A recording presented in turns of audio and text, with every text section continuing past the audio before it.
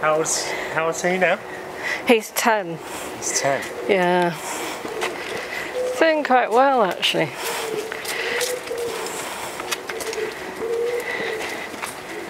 Still wants to carry his ball, but he doesn't like run after it very much anymore, so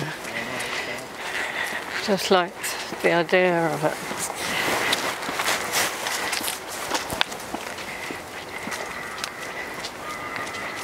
Amazing how they've become absolutely your partner, isn't it? Yeah, yeah, no, it's true actually. Because he was my son's dog. My, my son desperately wanted a dog and got him for his 11th birthday. And, um, but he does still look after him, but I, I've been the main person who takes him out and everything. So become really close to him. I'm always putting him in my paintings actually, but really I, I don't take him out with me painting because if he saw a fox or a cat, he'd just go zooming off.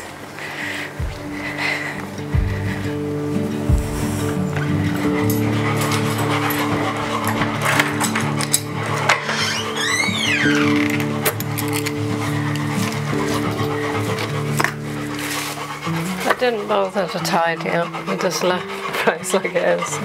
Go on, Jay.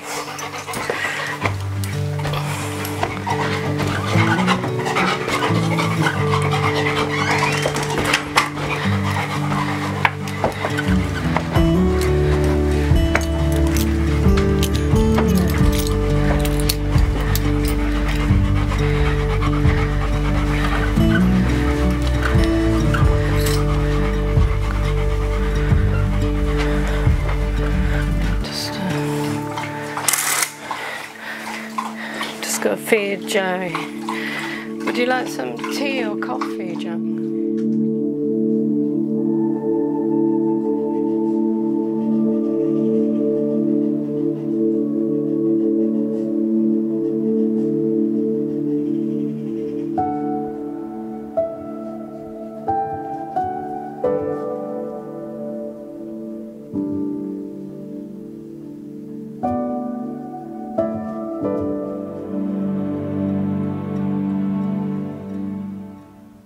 When I bought the flat, the main thing I loved was this view, and my son's bedroom has this view. And I did really big paintings while he was at school. I just, all my paintings were like landscape shape of the view.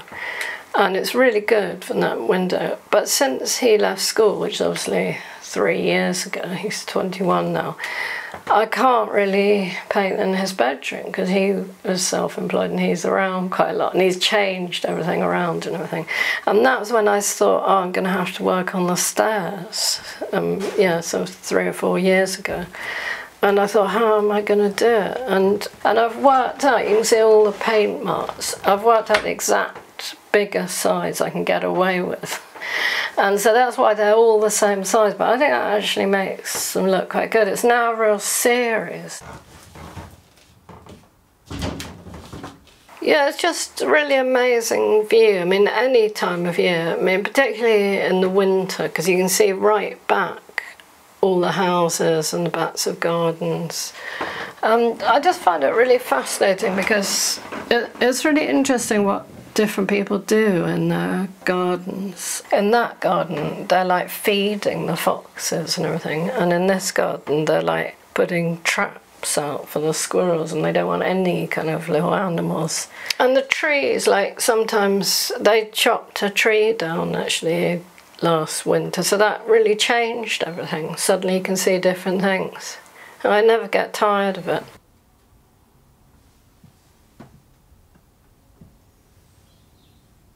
I quite enjoy the fact that there are limitations. Like I have to think to myself, I can't do that one today because there's too many people coming in and out.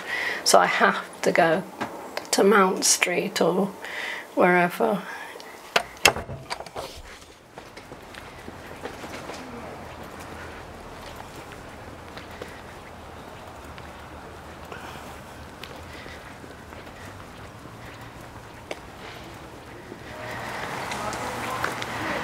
So this this is my spot.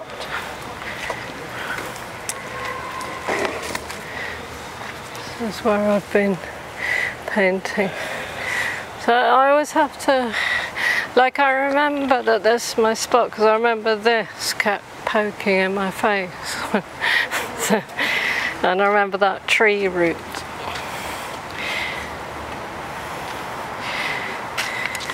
I like to feel that I'm kind of portraying the essence of an area as well. Like, sounds a bit pretentious, but like when I go to a place, I look at all the things that go on and I think, oh, a bus always goes past this. That's part of it. It shows it's in London and it's part, you know, the people from the bus see the the nice garden. It's all telling the story. And in fact, often I look at my paintings and I remember how great I felt doing it. I mean, it is incredibly therapeutic, you know, painting flowers and stuff. I think a lot of painters are really good at painting from photographs. I just, when I paint from a photograph, I'm bored and it shows. I just, I don't do it very well. And if I'm in front of something, for some reason, I just get really excited by it. I enjoy being there, and all that goes into the painting. And sometimes also get annoyed and nervous, and I think all that goes into it. Running. Nearly. Uh, this is the, this side. No. Over there. एक side पूरा हो गया same same same झाड़ के जैसे का same है बीच वाला। और ये एक टेढ़ा है ना देखो ये एक टेढ़ा है बड़ा वाला। ये भी देखो टेढ़ा ही है बड़ा वाला।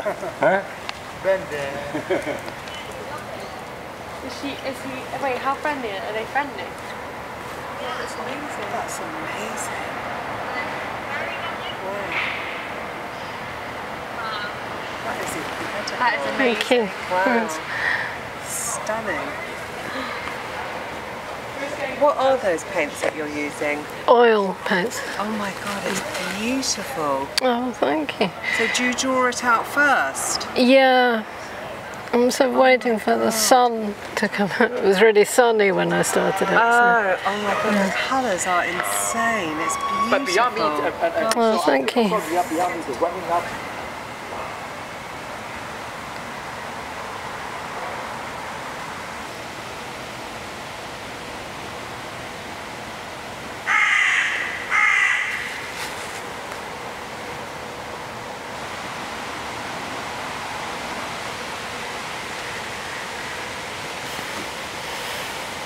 Beyond, beyond me, the running up. Very nice. Thank you. How much one? Oh, I don't know. I haven't decided yet.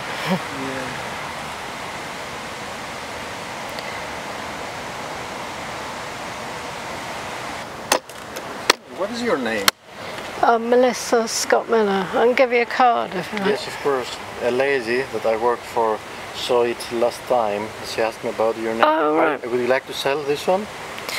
Uh, maybe. There was a lady who asked me who had two little dogs. Was it her? No, Oh, right. no, no. Oh, she said if I put the two little dogs in, she'd buy it, but Ah, she, she already bought it. well, she hasn't already bought it. I'm going to be here tomorrow She's anyway. interested. Okay, okay. Thank you very much. It's lovely. Oh, thank you. That's very nice. And I always think when eventually the place we lived for the longest, my bedroom looked out on back backs of houses and back gardens and all brick, you know, lovely old brickwork. And I used to just stand and look at, out of the window for hours. And I used to, and I started to draw and paint the view out of the window from when I was really little.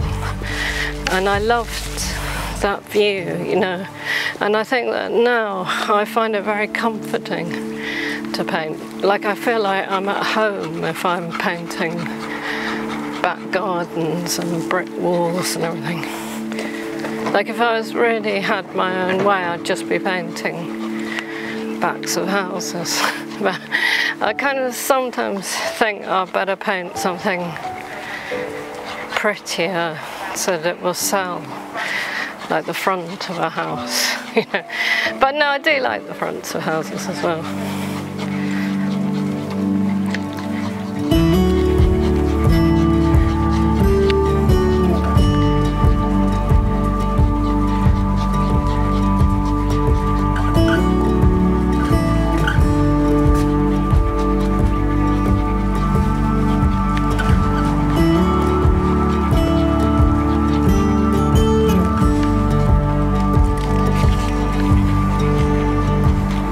Boy, yes.